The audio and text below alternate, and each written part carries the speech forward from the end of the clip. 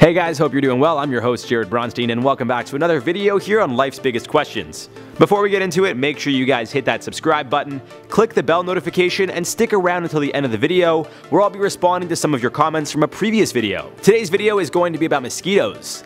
The little bloodsuckers that leave red, itchy bumps are the number one killer in the world when it comes to animals and spread countless disease. I know you guys are going to say they're not animals, they're insects. We're talking generalization here, guys. They normally come in sizes ranging from 6 to 12 millimeters, which as we know is very small. But what if they grew 10 times their regular size? The biggest ones would be about 4.7 inches or 3 quarters the size of your smartphone, depending which one you got. Either way, these things would be quite large and we need to explore how it would potentially make them more dangerous and how it would affect our world as we know it. Now there are many different types and species of mosquitoes, but for this video, we'll be focusing on the average Canadian or American mosquito. And with that in mind, we'll mostly focus on how it would affect our world in regards to those countries specifically. Mosquitoes are known for carrying disease and have been responsible for the spread of the likes of Zika, West Nile, Eastern and Western equine encephalitis, among many others, such as malaria and dengue fever. However, the last two mentioned affect more the tropical areas of the world, whereas the others seem to affect Canada and the US, among other countries as well.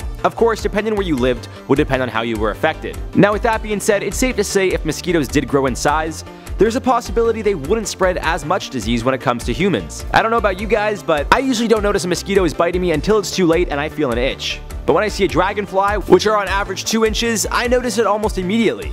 Point being, if the insect is bigger than it normally is, we'd most likely notice it before it got to us. Now we can't say the same thing about animals like horses, pigs, and cows for example. All of these farm animals, which is how I'll refer to them, could become victims of any of the diseases mosquitoes spread, more so than they already are. A lot of these animals tend to be infected but not show symptoms immediately. However, if they were to be targeted by much larger mosquitoes, it leads me to believe the diseases they carry would be more powerful. More specifically, given that they'd be 10 times their normal size, I feel the disease would be 10 times stronger in comparison. This could be a problem for areas that have disease-carrying mosquitoes, as it would more than likely affect livestock. Grocery stores and butchers would have to find ways to make sure their meats weren't infected, and farmers who sell to local markets or sell their own meats would also be in danger of losing tons of profits, either due to people not wanting to risk eating a possibly infected piece of meat, or because their animals would be dying from any of the diseases previously mentioned. This could also lead to problems with produce because to combat the mosquitoes, farmers and even huge corporations would be using even more pesticides and repellents to get rid of the mosquitoes, more so than they already do, which could be harmful for humans to ingest. But going even deeper into this idea, mosquitoes may also become more aggressive and attack even larger animals or mammals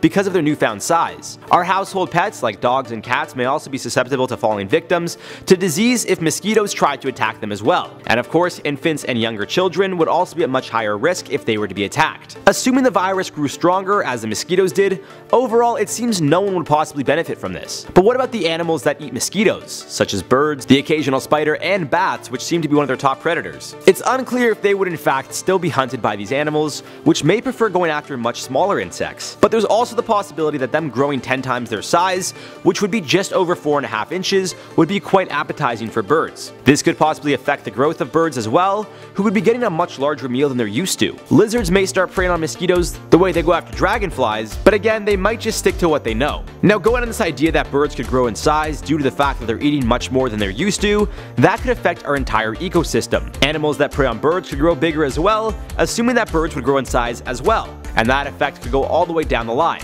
to humans even. Maybe we'd have like large Hulk-like humans. I don't, I don't think so. But what if the opposite happened? What if birds didn't eat as much because a 4.5 inch mosquito is too much for them? This could lead to a mosquito overpopulation. Assuming that only mosquitoes were to grow in size, those that prey on them wouldn't need to consume as many at a time. The overpopulation of mosquitoes would also have a chain effect on the ecosystem, as we know that overpopulation of anything would. If mosquitoes overpopulated, although they're known for feeding on nectar or honeydew plants to get sugar, they would need more of it to survive given their size and if they were to overpopulate as well, they may eventually change their eating habits to adapt. Again, this is all totally hypothetical, as we don't know for sure how their attitudes would change given this new size. If they were to stick to what they know, plants would certainly be affected, which in turn could affect any insects or animals that rely on these plants for food as well. The likes of bees, caterpillars, even squirrels could see a significant loss in their food supply, which, as previously mentioned, would have a chain effect down the line. So it's safe to say if mosquitoes grew larger, the likelihood that they would carry more powerful diseases and mess up our entire ecosystem seems quite evident. There's even the possibility that they become more aggressive and attack larger animals instead of just feeding on plants for their sugars or nectar. Only one way to find out. let's start doing the science. I'm kidding, guys.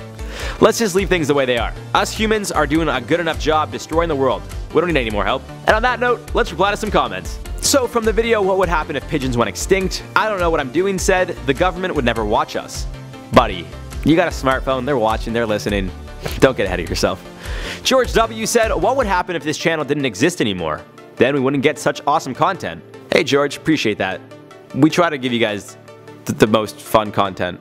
I don't know why I'm being so cringy right now. We just try to give you guys good content, but you guys gotta let us know more suggestions in the comments down below, because we want to give the people what they want. Raven's right hand said, to be honest, this question has never crossed my mind, but I'm glad I have you guys to answer it, lol. That's what we do, man. We ask, or rather answer the most absurd and ridiculous questions. I'm actually working on a video right now that it's not even possible, like it's, it's irrelevant. Just hit that bell guys, subscribe to the channel so you guys can find out what video I'm talking about. I'll give you guys a hint, it includes President Donald Trump running another country. So there you go. And on that note guys, we're going to wrap this one up. I've been your host Jarred Bronstein. Like I said, make sure you guys are subscribed and ring that bell so you guys could watch the video I am currently scripting. Hopefully it'll go up in the next week or so. We'll see you guys soon.